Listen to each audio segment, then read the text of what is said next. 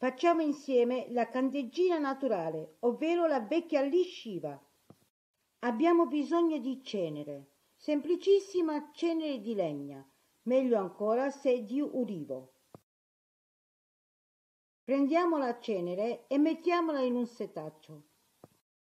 Meglio è un setaccio finissimo. Così tutti i residui di carbonio rimangono nella retina. Ed ecco la nostra cenere. Mettiamo due misurini da un litro di cenere in una pentola di acciaio. Questa dose è molto importante per la riuscita della candeggina.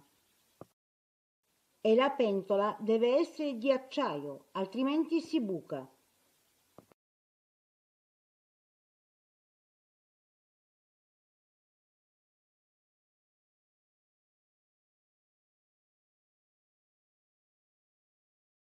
Chiudiamo la pentola con il coperchio di acciaio.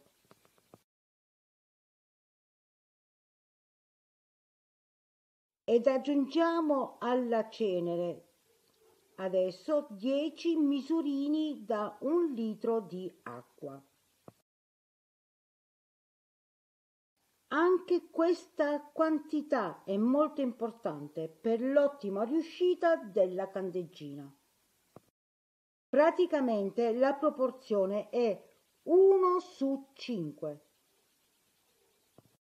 E cioè, se uso uguale quale misurino, ogni uno di quel misurino deve essere riempito poi con 5 litri di acqua. Mescoliamo la miscela e mettiamo sul fuoco. Lasciamo cuocere a fuoco alto. Io uso volentieri la stufa della nonna perché è a costo zero sia per la materia prima, la cenere, che per la cottura. Mescoliamo di tanto in tanto. Dopo circa un'ora si forma una schiuma sopra, è buon segno. Dopo circa un'ora e mezza comincia a bollire. A questo punto metto la cucchiaia di legno a traversare, appoggio sopra il coperchio e lascio cuocere per due ore, due ore e mezzo, sempre a fuoco alto.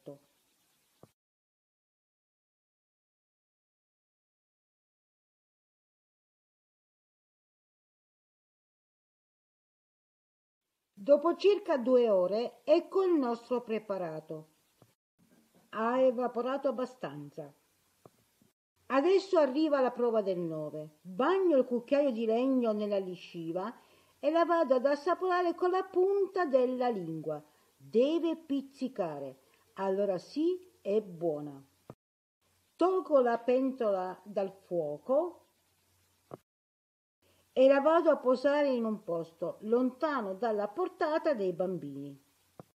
Lascio riposare tutta la notte, almeno 12 ore. Il giorno dopo ecco come si presenta la nostra lisciva. È pronta per essere travasata. Io uso un metodo semplicissimo. La prima, con attenzione e con delicatezza, la verso direttamente in un contenitore di riciclo. La seconda versata, invece, mi adopero di uno stroffinaccio in cotone, tale da filtrare la cenere.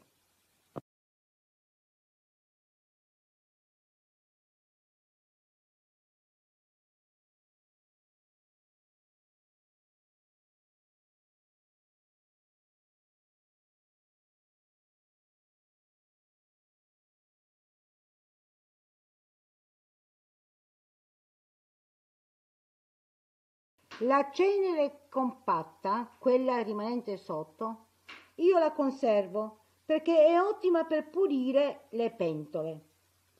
L'altra non mi dispiace se devo buttarla, tanto non mi è costata niente. E pulisco subito la pentola. Ed ecco la nostra candeggina, ovvero la vecchia lisciva, naturale, ad impatto zero, ottima per pulire piastrelle, ceramica, legno, acciaio, alluminio, plastica, tutto ciò che avete in casa. È un vero tornado per l'igiene di casa e bucato. Come vedete io la uso semplicemente a mani nude e la respiro senza candeggina. Toglie lo sporco più sporco.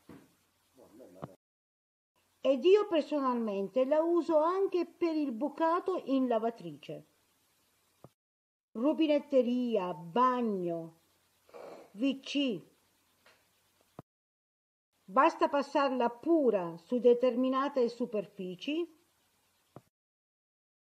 asciugare con un panno di stoffa oppure usare semplici tovaglioli di carta. Ed il gioco è fatto. Abbiamo la casa sempre splendente ed igienicamente pulita. Non usate molta di questa candeggina perché ha un alto contenuto di cloro per accertarvi potete farla analizzare.